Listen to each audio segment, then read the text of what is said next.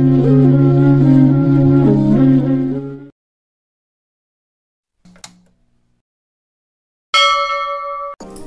viewers welcome to Suguna పోపులు పెట్టి channel. ఈరోజు మనం చికెన్ లెగ్ పీస్లు వేసుకొని ఇగురు చేసుకుంటామండి. చాలా బాగుంటుంది. చపాతీలోకి రైస్లోకి దోశ ఇడ్లీ కానీ చాలా బాగుంటుందండి. సైడ్ డిష్కి వాడుకోవచ్చు. ఇది ఎట్లా చేయాలో చూస్తామా మరి? చూసే ముందు ప్లీజ్ మన ఛానల్ని సబ్స్క్రైబ్ చేసుకోండి. లైక్ చేయండి. మీ ఫ్రెండ్స్కి షేర్ చేయండి. ఓకే వ్యూవర్స్ ఇది ఎట్లా చేయాలో చూస్తామా మరి?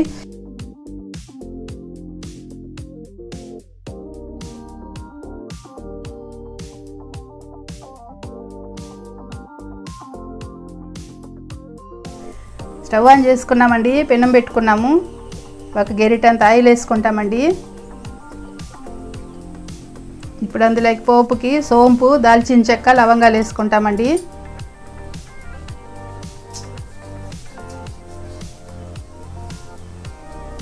కరేపాకు వేసుకుంటామండి.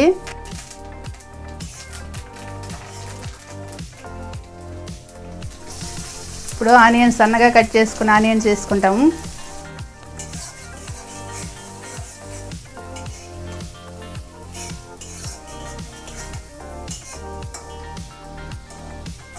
ఆనియన్స్ ఉడకడానికి కొద్దిగా సాల్ట్ వేసుకుంటామండి.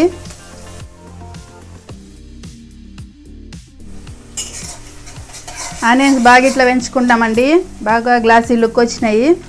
ఇందులోకి అల్లం వెల్లుల్లి పేస్ట్ వేసుకుంటామండి. ఒక స్పూన్ అల్లం వెల్లుల్లి పేస్ట్ వేసుకున్నాము. ఇది కానీ వేయించుకుంటామండి.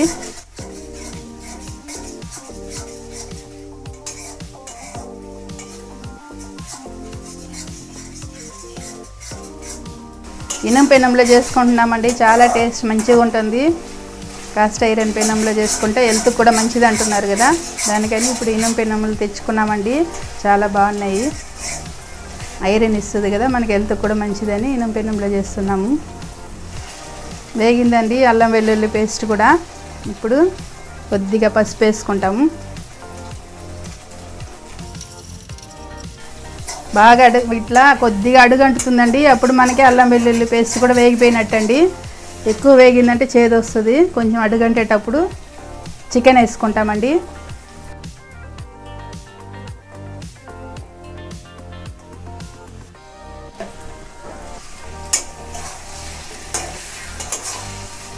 కొద్దిగా వేయించుకుంటాము చికెన్ కానీ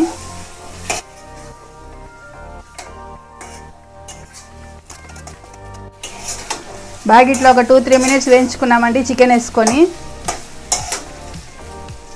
ఇప్పుడు కొద్దిగా పెరుగు యాడ్ చేసుకుంటామండి. పెరుగు వేయడం వల్ల మనకి మంచిగా జ్యూసీగా ఉంటుందండి. వన్ కప్పు పెరుగు వేసుకున్నానండి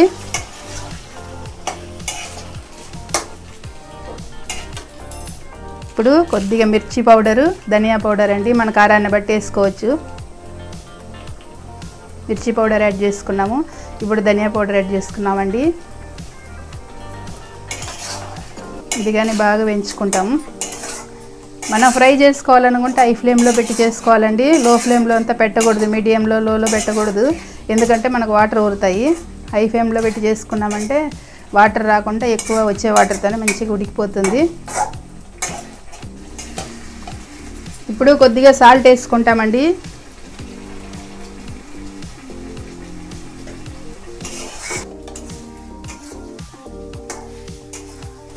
సాల్ట్ వేసుకొని ఒకసారి మొత్తం కలుపుకుంటాము. కలుపుకొని ఇప్పుడు మూత పెట్టుకుంటామండి. ఇది ఒక ఫైవ్ మినిట్స్ తర్వాత చూస్తాము. ఫైవ్ మినిట్స్ బాగా ఇట్లా ఉడికిందండి. తీసుకొని మధ్యలో ఒకసారి త్రీ మినిట్ అప్పుడు ఒకసారి చూసుకున్నామండి. బాగా ఉడికింది మన చికెన్ కానీ. ఇప్పుడు పచ్చిమిరపకాయలు యాడ్ చేసుకుంటామండి. పొడవుగా సన్నగా కట్ చేసి పెట్టుకున్నాం ఇట్లా. ఇవి యాడ్ చేసుకుంటాము.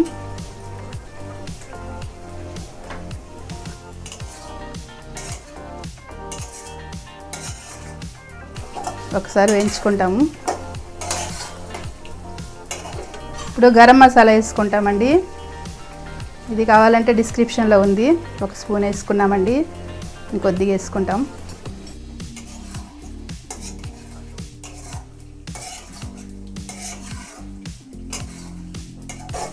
వేసుకొని ఇది ఒక టూ మినిట్స్ మూత పెట్టుకుంటామండి. టూ త్రీ మినిట్స్ మన గరం మసాలా అంతా బాగా ముక్కలేకి పడుతుంది. మంచిగా వేగుతుంది.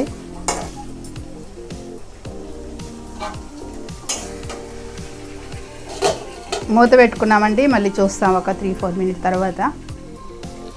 మళ్ళీ ఒక ఫోర్ మినిట్స్ బాగా ఉడికింది.